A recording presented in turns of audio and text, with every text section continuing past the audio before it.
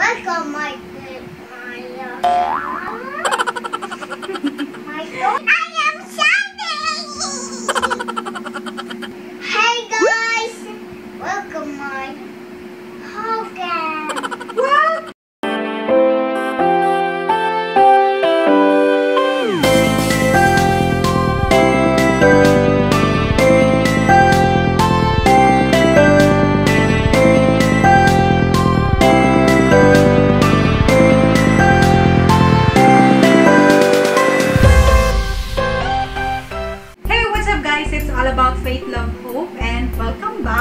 our channel.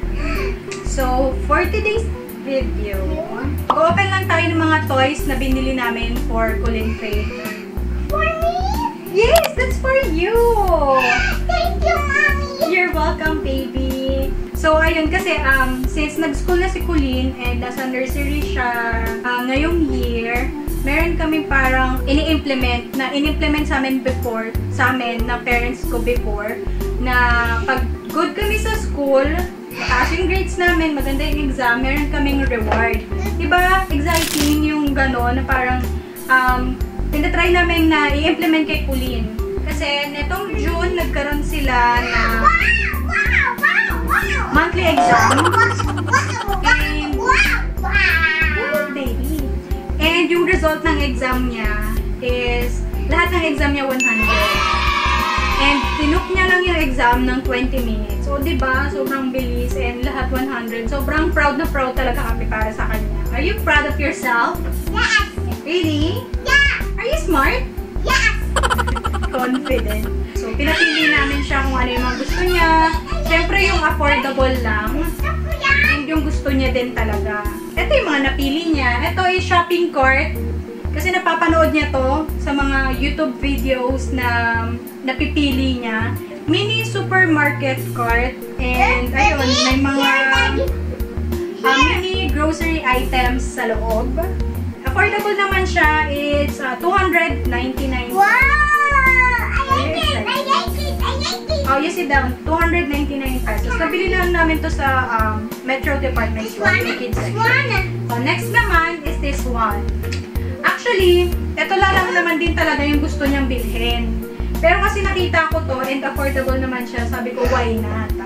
So, ayun, may nag-sponsor nito Open up. na family member.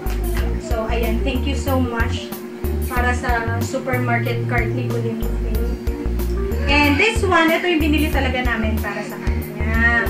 Yung cash register, yung sa shopping, yung pag-shopping. So, ayun, um, may kita niyo ba? Ayan, may, regist may cash register sa loob and then may mga fruits and baskets and uh, may mga card and uh, dollars dun sa loob. So, mamaya pag inopen namin, makikita nyo. And this um, toy cost us 599 pesos. Wow! Medyo pricey, pero worth it wow. Kasi diba, ginip niya naman yung best niya dun sa exam niya. So, ngayong July, meron ulit.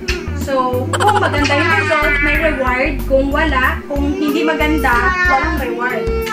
May palo pang kasama. So, ayun, pabuksan na natin kay Colin Faith kasi super excited na siyang laruin tong mga.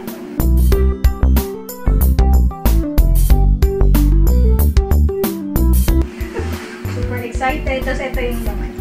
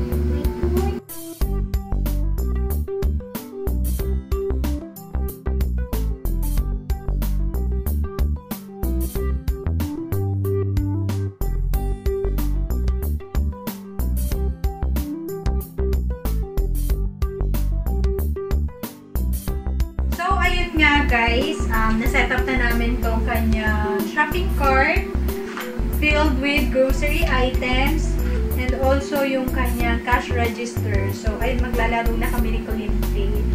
So, I hope you guys um, had an idea kung in case uh, gusto nyo bilhan ng mga ganitong items yung inyong mga kids and also uh, para din na-inspire yung mga kids na gawin yung best nila sa school, mag-practice kayo ng reward uh, system. Hindi naman kailangan na sobrang kamahalan, basta yung parang um, ipakita nyo sa kanila na appreciate nyo and super proud kayo sa kanya dun sa mga um, mga excellent na ginagawa nila sa school. So, Ayan guys, I know si Colin Faith, lagi niya ilo-look forward yung after ng exam niya, kung okay ba yung results, and may reward siya from us, her parents. So ayun guys, thank you so much for watching this video. Babay na tayo sa kanila ano. I hope you enjoyed this video and please watch our um, videos moving forward. Do not forget to like and subscribe to our channel. Bye! Paa.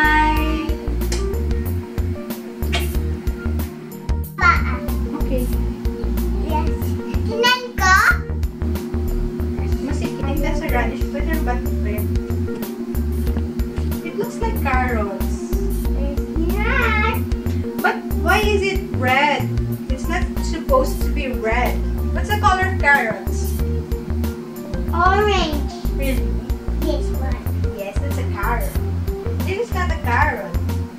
Not a radish. Um, where's the banana? You cannot see a banana. Is the color of the banana? Yellow. Yellow. Where's the hot dog? What's the color of the hot dog?